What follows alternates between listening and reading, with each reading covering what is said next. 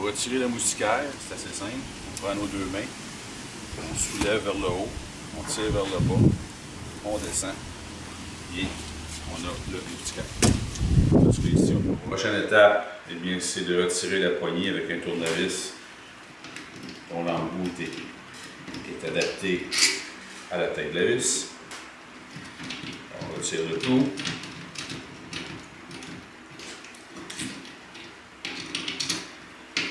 Et Alors pour retirer le joint, on doit repérer sur toute la circonférence où le joint s'est arrêté. Dans ce cas ici, c'est arrêté ici. Alors je vais utiliser un tournevis plat pour le soulever. Et je vais pouvoir tirer. Il commence à être fatigué. Voyez, juste ici. Alors pour faciliter le retrait, la petite que je donne, c'est que je pousse sur le moustiquaire et je tire sur le joint, comme ceci.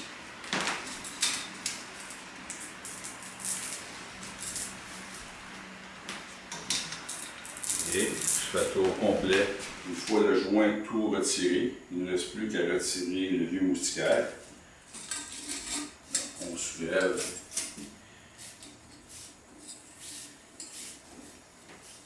Alors je vais installer un modèle en nylon. J'ai choisi un modèle avec un kit. Vous pouvez avoir séparé les équipements. Alors on peut voir ici j'ai un nouveau joint. Et puis à l'intérieur, on avait la boulette pour pouvoir installer le tout. Je choisis toujours le kit tout simplement parce que ma porte patio, à moi, ben, mon moustiquaire est exposé au soleil en tout temps. Alors, ce qui se passe lorsque vous allez démonter, eh bien, euh, naturellement, le, joint s'endommage parce qu'il est séché. Mais c'est récupérable. Pour ceux qui veulent le récupérer, ils peuvent le récupérer. Ça va faire juste des petits bouts un peu partout. Euh, avec un kit, eh bien, euh, on remet à neuf. Alors, vous avez la roulette, vous avez un côté qui est qui est rond pour pouvoir pousser à l'intérieur le moustiquaire et vous avez un modèle concave qui lui va permettre de pouvoir appliquer une pression au centre du joint lors de l'installation. après avoir centré votre nouveau moustiquaire, eh bien, je vais avoir besoin de la roulette. Remarquez que la roulette, j'ai un côté rond comme je disais tantôt.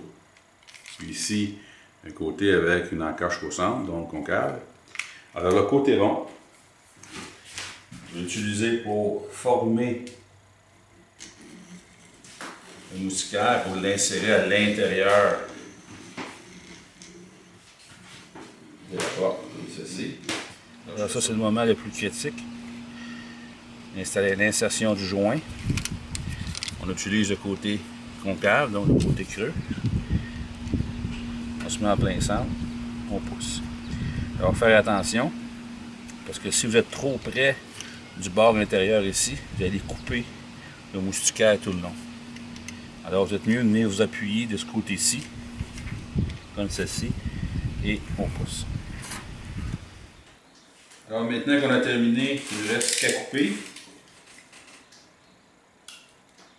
le joint. Là, terminé. Alors moi j'utilise le tournevis. Là, je serre. Et j'en profite pour refaire les quatre coins avec le tournevis pour bien l'écraser dans ces coins. Une fois les quatre coins sont faits, il ne me reste plus qu'à utiliser un couteau à lame longue. Je vais venir sur le côté, alors je m'appuie et je coupe l'excédent. Et voilà, le travail est terminé. Il ne me reste plus qu'à réinstaller la poignée puis prendre le moustiquaire, la porte moustiquaire et venir l'installer euh, sur la porte extérieure.